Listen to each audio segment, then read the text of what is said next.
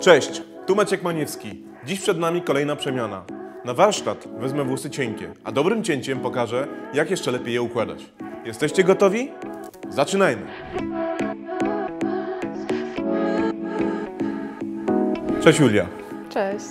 Słuchaj, bardzo dziękuję, że jesteś ze mną dzisiaj. Wiem, że czeka nas takie konkretne cięcie. Jestem na to gotowa chyba. Jesteś gotowa? Tak. Okej, masz bardzo ładne włosy. Ja w ogóle bardzo lubię kręcone włosy, one tak się trochę kręcą. Najważniejszy w fryzurze jest kształt. Teraz masz bardzo kręcone włosy, dosyć sporo ich, a ja chciałbym do Twojego kształtu twarzy dopasować fryzurę, która będzie jeszcze trochę bardziej skromna. Nie wiem, wydaje mi się, że e, czym włosy Twoje będą krótsze, tym Twoja twarz będzie bardziej podkreślona. Pewnie. Spróbujemy? Spróbuję. Tylko wiesz, będzie naprawdę bardzo krótko. Jesteś odważna? Radę. No dobrze, no to zapraszam do mycia w takim razie. Włosy Julii będziemy myli specjalnym szamponem Repair. Szampon ten zawiera przede wszystkim bardzo dużą ilość pantenolu, który jak wiemy jest bardzo dobrze nawilżającym składnikiem. Nie tylko włosy, jak i skórę. E, Jest to bardzo dobra linia do włosów grubych, suchych i kręconych również. Zrezygnowano w tej linii z parabenów i SLS-ów. Dzięki temu ten produkt jest w bardzo dużym stopniu produktem naturalnym. Uzupełnieniem linii Repair jest bardzo dobra odżywka, którą nakładamy na włosy, aby włosy jeszcze bardziej zmiękczyć i przede wszystkim też dobrze rozczesać. Właśnie niewielką ilość nałożyłem na włosy. Są to włosy krótkie, a więc pamiętajmy, żeby tą odżywkę położyć głównie na końce. Jeśli masz włosy dłuższe, to nakładaj zawsze odżywkę od połowy. Pamiętaj, że dobrą odżywkę zawsze trzeba z włosów spłukać. Najważniejsze w cięciach krótkich jest to, aby jak najdokładniej przygotować linię, jak najdokładniej przygotować kąty, określić sobie dobrze długości, ponieważ jest to teraz bardzo precyzyjne cięcie, więc ja skupiam się na swojej pracy, e, a wy trzymajcie za mnie kciuki, no i przede wszystkim trzymajcie też kciuki za modelkę, bo to bardzo odważna decyzja. Strzyżenie rozpoczynamy od przodu i każda warstwa, która teraz będzie wybierana na skroni, jest bardzo istotną warstwą, bo tak naprawdę każda z tych warstw będzie dla mnie taką warstwą pamięci. Robimy bardzo krótkie cięcie, a więc włosy przy nasadzie strzyżemy właściwie bardzo krótko. Jest to długość takich 2 cm.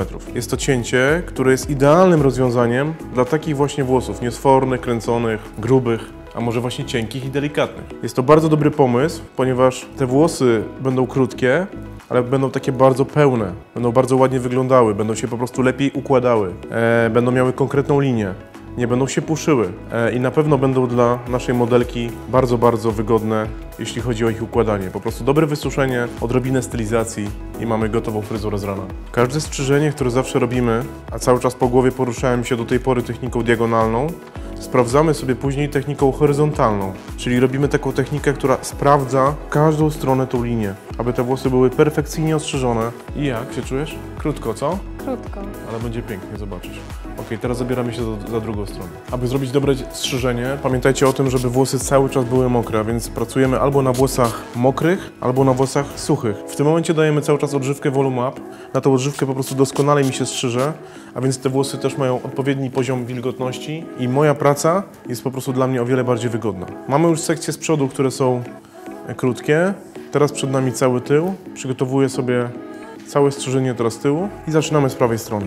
Jeśli oglądają nas fryzjerzy, na pewno musicie zwrócić uwagę na to, w jaki sposób oddzielam sobie teraz linię. A więc cały czas pracuję takim bardzo mocno skośnym podziałem. Podział przy okazji bardzo też usprawnia mi to cięcie. Dzięki temu to strzyżenie jest zdecydowanie szybsze, bo skosy, które wykonuję, czyli te wszystkie linie diagonalne, które się tutaj pojawiają, w dużym bardzo stopniu ułatwiają mi pracę. Linia później po wysuszeniu też będzie bardziej płynna. Fryzura wymaga na naprawdę ode mnie bardzo dużej koncentracji i każda linia i każdy podział, ale staram się, aby każda linia, którą wydzielam i każde oddzielenie było dopięte absolutnie w 100% i pod każdym kątem wykonane bardzo dobrze. Każdą separację docinam do poprzedniej linii pamięci po to, aby ten kształt był coraz to ładniejszy w linii i w kierunku potylicy, aby ten kształt był taki bardzo delikatnie półokrągły.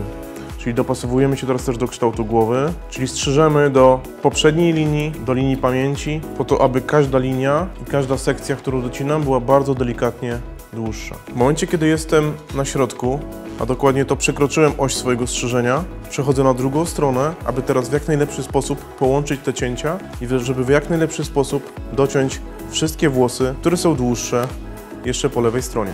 W tym momencie tego cięcia doskonale widać jak łączymy się już z włosami, które są pod spodem i przechodzimy teraz linię osi i tak naprawdę docinamy teraz niektóre długości tylko łącząc je, czyli zostaje nam długość, którą chcieliśmy z drugiej strony i docinamy tylko elementy, które są w bardzo ważnym sektorze, w sektorze potylicy. Te długości przeciągam zawsze na lewą i na prawą stronę po to, aby uzyskać jak najładniejszy kształt potylicy. Wszystkie włosy w tym momencie zostały teraz skrócone bardzo ważnym podziałem, czyli wszystkie sekcje zostały cięte pionowo w bardzo delikatnym diagonalu, czyli w takim skosie, aby ten kształt potylicy był bardzo ładny i żeby głowa była bardzo zgrabna. Całe cięcie sprawdzamy teraz w sposób horyzontalny, czyli wyczesujemy wszystkie pasma pod spodem, po to, aby sprawdzić jakość tego cięcia i dociąć każdy milimetr włosa. Wszystko zmiękczam sobie takim bardzo delikatnym, punktowym cięciem. Finalny kształt tego cięcia zrobimy już na włosach suchych i dopracujemy każdy szczegół.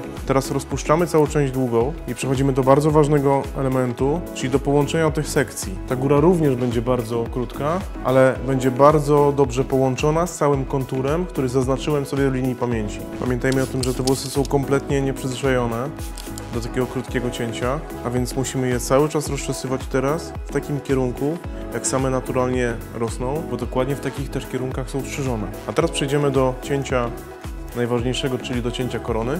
Długość tego cięcia pobieramy sobie z tego bardzo krótkiego tyłu.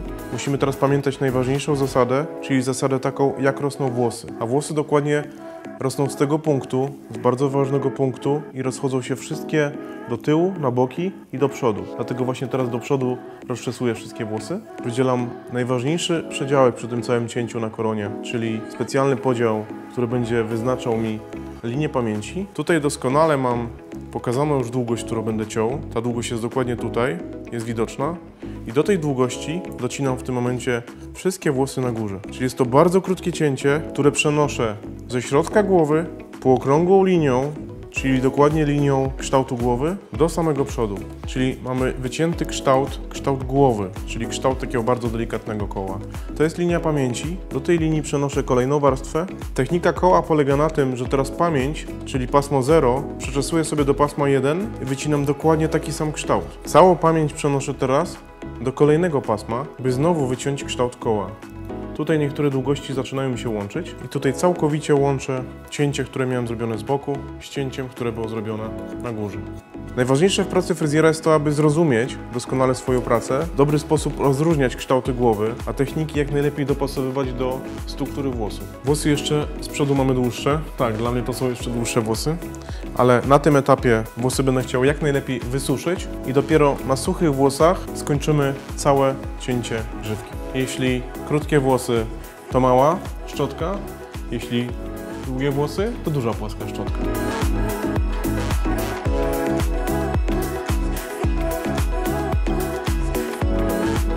Czas na grzywkę. Zamknij oczy. Ta grzywka właśnie nie ma być w ogóle grzywką regularną, nie może być nawet grzywką za ciężką, dlatego staram się, aby ta grzywka miała taki bardzo niesymetryczny, mocno powcinany kształt. W momencie, kiedy mamy skończone całe cięcie, możemy zastanowić się nad takimi elementami, gdzie chcemy jeszcze dodać lepszego kształtu, gdzie to cięcie chcemy sprawdzić, gdzie chcemy, aby te linie nie były tak precyzyjne. Może na przykład gdzieś chcemy, żeby te linie były trochę bardziej zmiękczone, więc w tym momencie wszystkie chwyty dozwolone. E, zastanawiamy się tylko nad tym, co chcemy w tym cięciu bardziej podkreślić. Ja chciałbym, żeby to cięcie nie było zbyt płaskie, tylko żeby bardziej mi się podnosiło, a więc zastosuję taką bardzo ważną technikę, fryzjerom na pewno znaną, technikę kanałową. Tylko w środku we włosach powycinam sobie bardzo takie delikatne elementy, tylko po to, żeby te włosy właśnie na czubku tutaj trochę bardziej mi się podnosiły. A ja poruszam się nożyczkami po skórze i bardzo delikatnie na tej skórze wycinam takie bardzo cienkie i delikatne elementy, które są zrobione od samej nasady. Ten ruch powtarzam jeszcze raz przy grzywce, żeby ta grzywka jeszcze lepiej się układała. Nacinam sobie poszczególne elementy, żeby ta fryzura nie była puszysta, a wręcz właśnie wydzielała mi się w takie bardzo ładne pasmo. To już jest prawie koniec. Ale jeszcze najważniejsza część, czyli styling. Chcę, żebyś wiedziała, jak będziesz układała teraz włosy, ok? Mówiłem, że będzie wygodnie, prawda? No już to czuję, słuchaj. No, będzie bardzo Różnice. wygodnie. Ta pasta jest bardzo fajna, bo jest pastą matową. Świetnie postawi włosy, ale ważne, żeby włosy były wysuszone. Pamiętaj, jeśli masz włosy, które są delikatne, a może włosy, e, które się trochę kręcą, to jeśli chcesz dobrze włosy sobie postawić na pastę, to najpierw te włosy bardzo dobrze wysusz. Pasta też ma być dobrze rozprowadzona w dłoniach i później wprowadzamy sobie ją bardzo mocno we włosy i akcentujemy pewne rzeczy. I teraz zobacz, albo bym mógł Ci teraz tą fryzurę całkowicie postawić, tak? Zobacz, co się w ogóle dzieje. Albo mógłbym Ci tą fryzurę całkowicie położyć, tak? I byś była bardzo grzeczna, ok? Kurczę, myślałam, że to niemożliwe z moimi włosami. To wszystko jest możliwe. A więc w tym momencie ja chcę, żeby te włosy były bardziej rozburzone. Bardzo chcę Ci zaakcentować te pasmo, które to powycinałem. Wyglądasz świetnie. Dzięki. I bardzo Tobie dziękuję. Ja Przede wszystkim za odwagę.